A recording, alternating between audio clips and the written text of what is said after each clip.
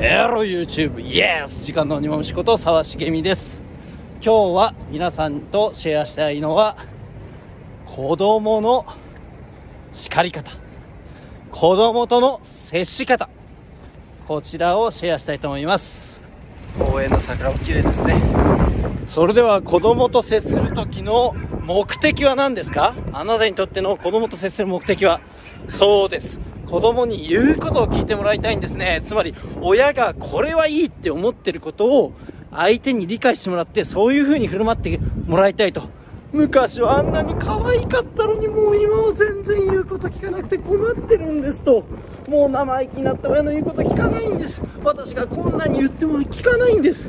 でも、子供との接し方をしっかりと身につければ、相手は自分の愛をしっかりと受け取って、話を聞いてその通りしてくれる確率が圧倒的に高まります。実は子供と接する時のポイントはたった2つだけなんです。2つです。これだけやってれば相手との接し方が極端に良くなるんです。そして相手が話を聞いて理解してくれるんです。1つ目は相手の目を見るってことなんです。これだけで劇的に変わります。そして二つ目は、相手に質問をして、完コピ、完全に親が言ったことをリピートできるようになるまで言わせるんです。この二つです。この二つで劇的に変わります。一つ目は、親の目を見る。相手の目を見るってことなんです。これができないってことは100%舐められます。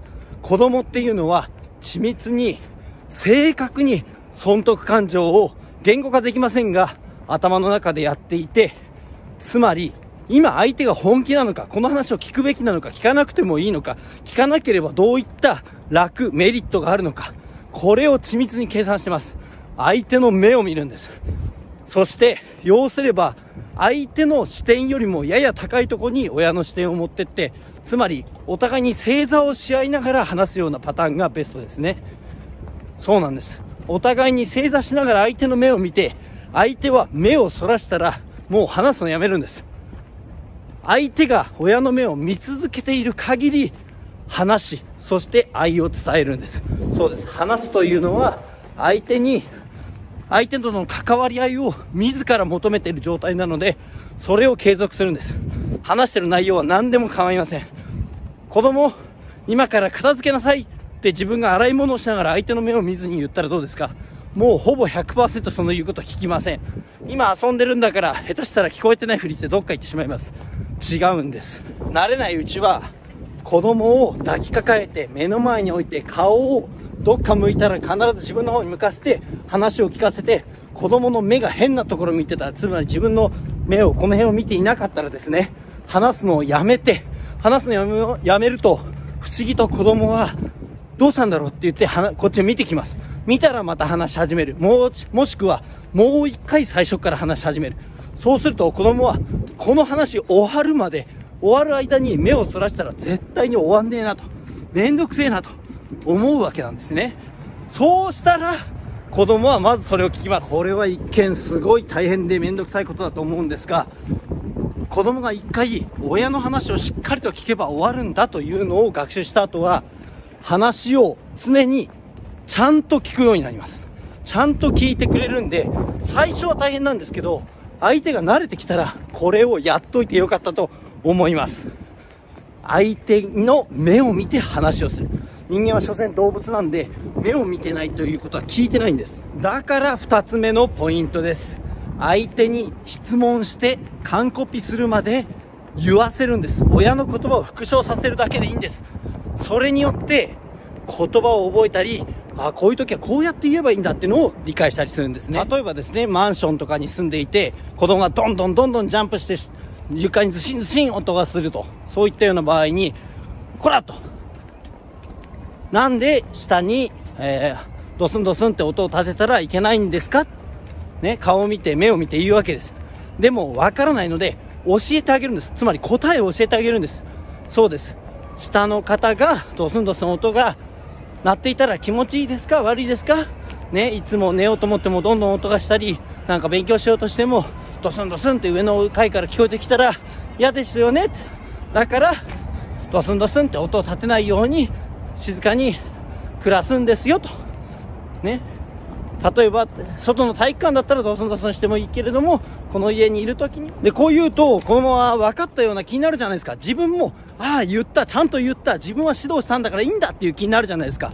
でもまたやるんですよね。子供は元気ですから。でまたやるっていうかそこで質問しなきゃいけないんです。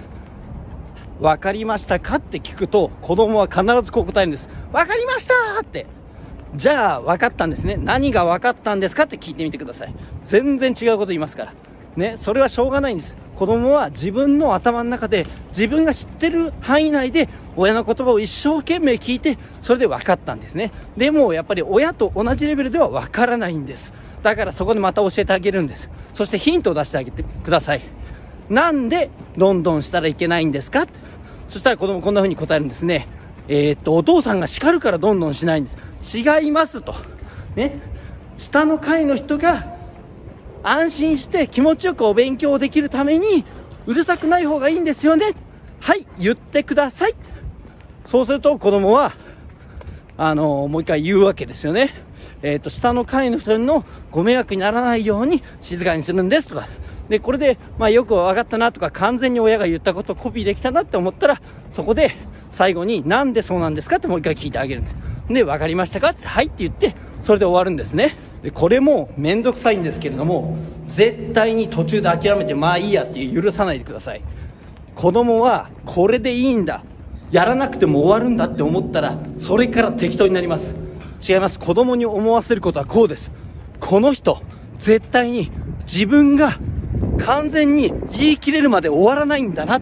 っていうのを学習させてあげてください。子供は明確に自分の中で損得感情をしているがために、自分が言うこと聞きたくないなと思ったら目をそらしたり、話を聞かなかったり、うやむやにして逃げ出したり、どっかに行ってことが収まるのを待とうとします。それが、このお父さんには絶対通用しないんだなっていうのを学習したら、必ず最後までやって、はいって言って完コピできるようになります。そうすると、何が起こるかというと、人間は何がいい悪いっていうのはあんま考えてないんですね。自分の頭の中で言葉にしたことを正しいと思うんですよ。だから、親の言葉を自分の言葉で発音することによって、それが自分にとって正しいことだっていうのを学んでいくわけですね。それによって価値観が、親がこれがいいと思ってる価値観が子供に伝承されていくわけです。さてどうでしたか？これをぜひやってみてください。その他にいろいろ子供を育てる際に有益なやり方やツールや脳科学、心理学みたいなのがあるんですが、この2つ、この2つだけで家庭内の、えー、状況がかなり変わります。つまり、相手の目を見る。相手が自分の目を見ていなかったら話すのをやめる。そして相手が話を聞く。しっかりと聞く。自分の愛を伝える。そして質問する。質問に答えられるまで繰り返す。そして父親が答えを、まあ母親、親がですね、答えを教えてあげて、その答えの通り完コピできるようにしてあげる。とりあえず言わせる。